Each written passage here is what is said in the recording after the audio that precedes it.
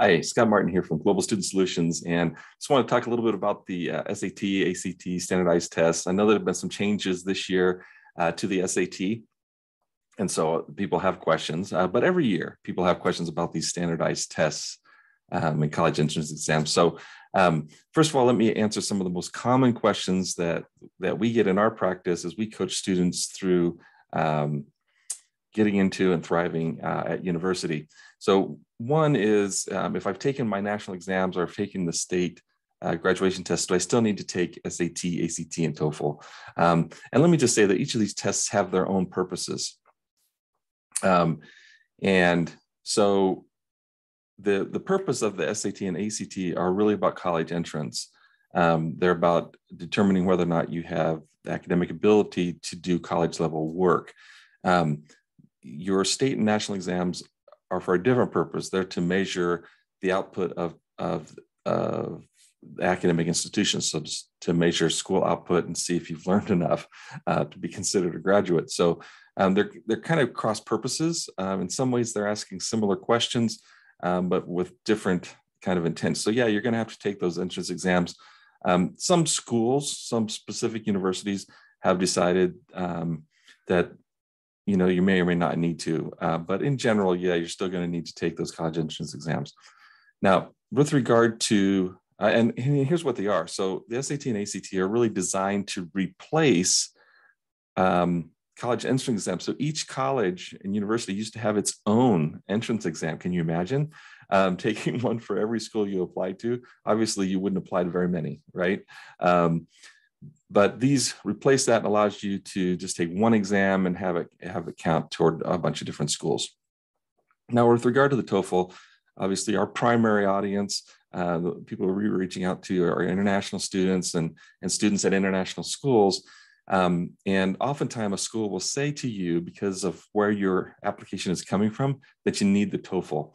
Um, and I'll just tell you that if your school is in English and you've done all your exams in English and you've done the SAT and ACT, um, you're probably going to be able to get a waiver for that TOEFL exam. So you don't need to take the TOEFL. Um, you will need to get a waiver because they have to check the box because your address is overseas. So they're going to check the box, but they should be able to do that pretty easily. And so for the vast majority of schools, you're going to request a TOEFL waiver and they're going to give it to you.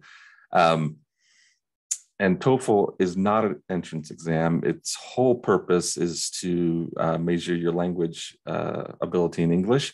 Um, and so, um, yeah, it's a, again a different purpose, a different uh, reason for taking it. Um, so, what do you need to know about the new SAT? That's the next question that we get all the time. Um, and let me answer it by saying this. Uh, Sarah Wood at the US News and World Report wrote an excellent article. I'm not going to rewrite it. Um, but in short, uh, you, you do need to take the SAT. You still need to take it. Um, it by offering it in electronic form as the new SAT is, is available is a really good change. Um, and it's way, way overdue. Uh, this whole idea that, that you should be filling in little bubbles and waiting for months for your result is, is ridiculous. And so I'm very happy to see that the SAT is addressing that ridiculousness, right? Um, and the main takeaway continues to be that you need to take these entrance exams seriously, get a good night's sleep before the exam, um, and and and do your best. Eat a good breakfast, right? Um, so those are still the same basic responses. It's just now we don't have to do it in such an old-fashioned way. Um, another very common question we get specifically from uh, students at international schools is how often uh, should I take the exam? I heard that, you know, the more often I take it, the better my score goes. Well, there's a reason the score goes up when you take it multiple times. It's because those multiple times are over a span of time. So if you take the SAT in 10th grade, and then you take it again, again in 11th grade, your score is going to be higher because you learned more stuff in that year. And again, if you take it again later, it's probably going to go up again because you learn more stuff. Um, so it's not because you're taking it multiple times that your score is going up, it's because of when you take it. So to get the maximum value out of your out of your test and to for that fee, I recommend that you take the test between May and July prior to the year to your last year of formal school. So if if you're calling it your senior year or grade 12 or you know whatever the final year is before you are going to go to college so a full over a year before you're actually entering college is when you want to take the SAT and ACT to get the best result. The only time you would need to take it a second time, either one of them, is if you're sick or there's some major malfunction the first time. So if you get in and just have a major panic attack um, or are feeling ill, um, you know, your car broke down on the way there and you had to rush in and you just feel like if you took it again, you would definitely score better. Um, then by taking it between May and July, there's time to take it again. And so uh, that's the reason I recommend taking it then. Um, and I think that's going to pay off for you. Um, how much should you, should you, plan to study for the exam?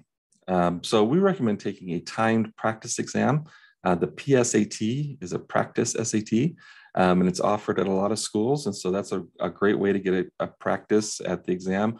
And there's also ways that you can do that online, but it's practice timed, practiced exam um, does help you kind of figure out how to manage your time when, when taking a standardized test like this. Um, and so that's helpful.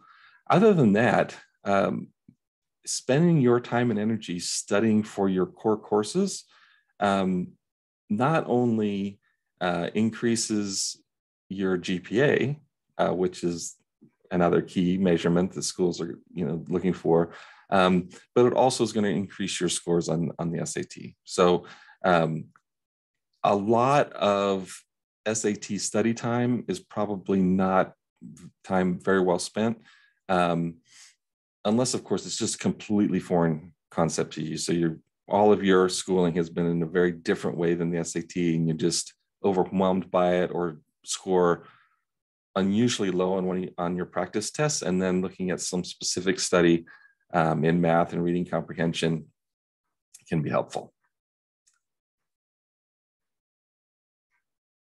I think those are the basic, the, the earliest questions. If you have other questions about the SAT or about anything else, feel free to reach out to us on our website. Um, we're here to help uh, your transition from secondary school to university, and then ultimately, when you get to university, to have a really wonderful experience while you're there. Um, we know that this is a really important time uh, for you, and we want to, to do whatever we can uh, to help make that a really exciting and um, affirming time. So, uh, best of luck, and uh, reach out to us if you think we can be helpful. Thanks.